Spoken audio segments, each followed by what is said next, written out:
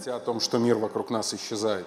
Многие виды, существовавшие когда-либо на Земле, уже вымерли. Поэтому сегодня нас беспокоит осушение белорусских болот. Для восполнения энергетических запросов страны уже исчерпаны все торфяные ресурсы. Торф остался только в заказниках.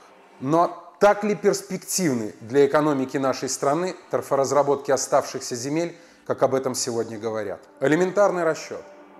Построить один торфозавод – это 100 миллионов долларов и 6-7 лет строительства. А торфа хватит только на 20 лет. И что потом?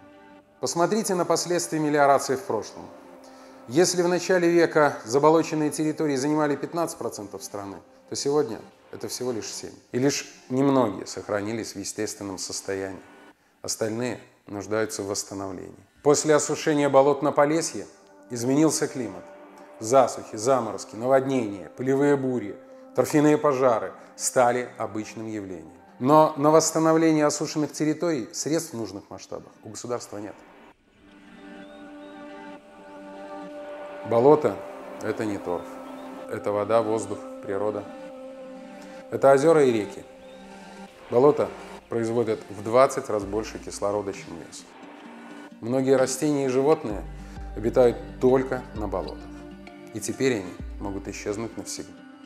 Экономический эффект несопоставим с потерями. А альтернатива есть. Мы можем развивать энергосберегающие технологии. Мы можем использовать возобновляемые источники энергии. Так почему же мы продолжаем бездействовать? Чтобы остановить осушение болот, нам нужно собрать 100 тысяч подписей. Все, что нам осталось, это сохранить то, что у нас осталось.